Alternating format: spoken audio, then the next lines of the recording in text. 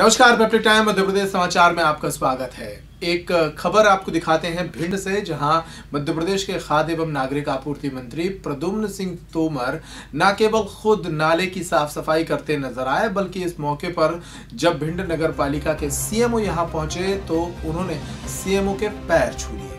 पैर छूना एक तरह से व्यंग था। उन्होंने सीएमओ को कहा कि आने वाले दिनों में जब वे दोबारा आएँगे तो इस इलाके में उन्हें गंदगी नहीं दिखनी चाहिए।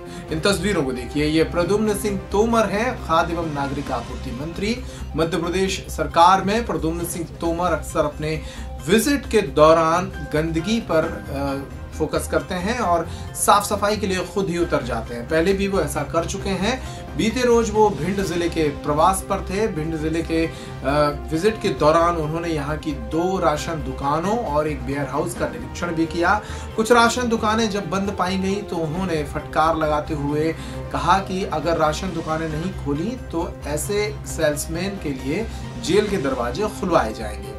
इसके बाद वे जब अपने विज़िट से लौट रहे थे, तभी रास्ते में एक गंदे नाले को देखकर रुक गए और खुद ही फावड़ा लेकर इस गंदगी को साफ़ करने लगे।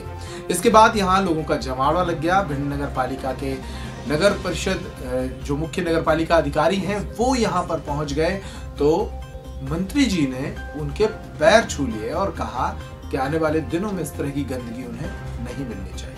साहब ने कहा था कि करा दूँगा, साहब ने जी कही थी, करा साफ़ करेंगे ना? निवेदन है द्वारा जो राउंड आए ना तो ये गंदगी चाहिए। आप लगाइए गले लोग कोई कर्मचारी की दिक्कत है, विधायक जी से बात करिए। और मैं आपकी व्यवस्था करता हूँ जो हमारे अध्यक्ष भी है, सर जिला कांग्रेस के। बैठ के बात करिएगा